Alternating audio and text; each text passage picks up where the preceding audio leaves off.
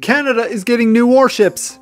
Not you, real warships. Here we go. You probably know it as the Canadian Surface Combatant Project, but what you might not realize is this will become the most complex shipbuilding initiative Canada has seen since the Second World War, so it's a pretty big deal. Canada envisions 15 of these new vessels taking the lead in our global initiatives to counter piracy and terrorist activity, enforce embargo and interdiction work, and provide all manner of humanitarian aid, search and rescue, and sovereignty enforcement. Okay, so look, the Navy's still pretty upset about having the worst dress uniforms. So for this one video, I'm going to largely avoid any cost or procurement controversy. Hey, get out of here. Get. Instead, let's just concentrate on the capability of these vessels. So, come geek out with me the first ships on the water won't actually be flying a Canadian flag. Our Australian and UK allies have already committed to building their own versions of the Type 26 frigate, and they're getting their toys first. The UK has their first ship out of eight, the HMS Glasgow, now sufficiently complete to the point where they can assign sailors to the vessel. The Glasgow will act as both a submarine killer and an important defensive asset for British aircraft carriers. The British Type 26 frigates will be armed with the future cruise anti-ship weapon. This modern weapon system is designed to be hypersonic, agile, and intelligent. Once launched, its missiles can track fast-moving ships, outsmart decoys, and carry payloads with the ability to kill hardened targets. These weapons are expected to replace the existing Harpoon, Scalp, and Storm Shadow missiles. Expect to see these ships in British waters by mid 2020s, with the first expected to enter service by 2026. Now, the Australian Type 26 will be defined as a hunter class, with a slightly different assortment of weapon systems. They are buying a total of 9 vessels for an estimated cost of around 35 billion Aussie dollars, or dollaroos. They begin cutting steel for their first ship this December, with plans to become operational the Royal Australian Navy around the end of this decade. As for Canada, we decided on the Type 26 after ruling out the comparable Italian French FREMM frigate and the lower cost Type 31 the Department of National Defense has remained confident that the Type 26 is the right ship for the Royal Canadian Navy. Considered as both a replacement for our decommissioned destroyers and our currently aging fleet of Halifax frigates, the design plan for the Canadian versions is to be outfitted for a more general purpose approach. This means that our ships will be outfitted to perform in both the anti-sub and anti-air warfare categories. This decision was made so that the 15 vessels shared an identical standard. Now, after they are split between the Atlantic and Pacific fleets, this will enable them to be fully interchangeable across the spectrum of our naval operations. Comment section enthusiasts will be very happy to hear the Type 26 is a warship at its core, vastly better armed than the Arctic patrol ships we have previously featured.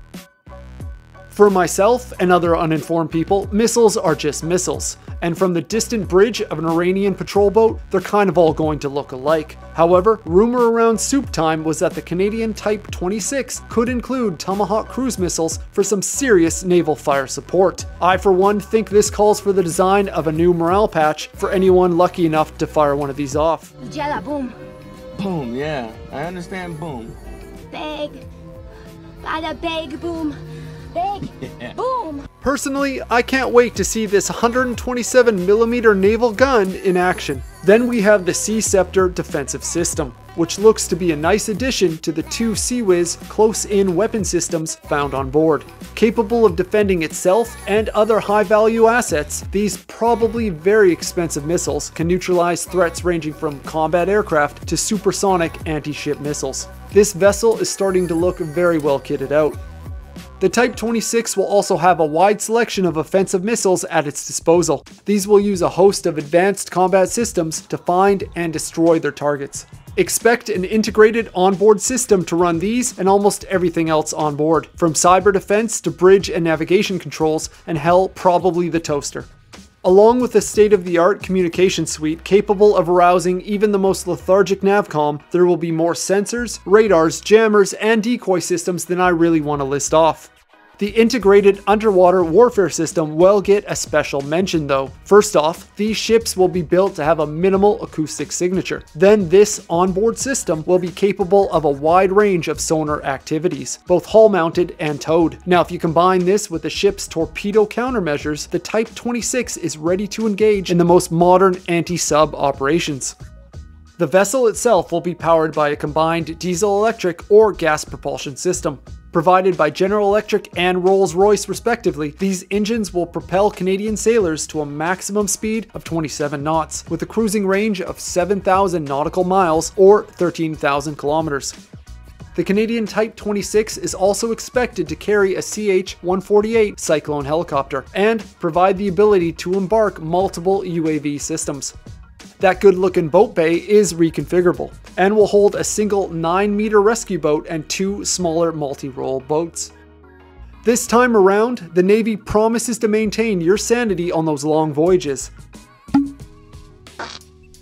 This will be done by prioritizing the ability to digitally connect with your families back home, and then by housing certain amenities on board. These will include a medical facility along with a dedicated gym and fitness center, so no more working out under the stairs for you.